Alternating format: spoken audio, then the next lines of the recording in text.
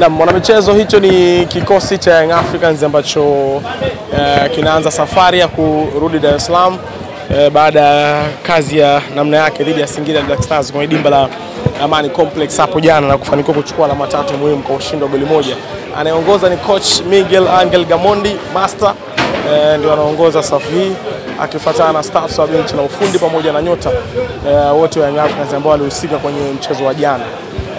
Butwali Busheri yuko hapa, Maxim pia Nzengeli, Wanda Kid eh, Dennis Nkane akiwa na performance nzuri kwa mchezo wa jana eh, na anaondoka Clatous Chama, Kiaziz Stefan eh, Jonas Mkude, Kenneth Busonda pia yuko hapa eh, miongoni mwa nyota ambao wanarudi Dar es Salaam baada ya purukushani zote za jana kwenye mchezo wa NBC. Nahodha eh, Dickson Job ambaye pia yuko hapa kwa ajili ya kuanza uh, safari ya kurudi uh, Dar es Salaam uh, baada ya mbungi la jana dhidi ya Singida Black Stars.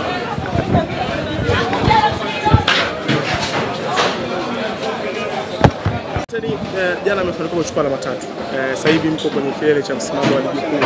Eh, hii imekuwa kubwa kiasi gani kwenu kama wachezaji? Ah, hii ni nzuri kwa sababu kama, kama nilivyoongea katika mahojiano yaliyopita wakati tunajiandaa kuja Zanzibar, tulisema kwamba katika kila mchezo tunahitaji pointi tatu ili kuweza kujiweka katika nafasi nzuri ya kutetea ubingwa wetu. Kwa hiyo ni kitu kizuri, lakini kwa wakati huu tunarudi nyumbani kwa ajili ya kujiandaa kwa ajili ya mchezo unaokuja wa Jumamosi. Jana ilikuwa tafu kuchukua alama tatu, lakini eh, kwa bahati nzuri mkafanikiwa na kufanikiwa kukaa kileleni. Nataka uwaeleze mashabiki wa Young Africans ilikuwa ngumu kiasi gani jana kufanikiwa kukaa kileleni kwa kile ambacho wengi walikuwa wanakitamani. Ah, ilikuwa ngumu na sio jana tu, mara zote tunapokutana na Singida mechi inakuwa ngumu.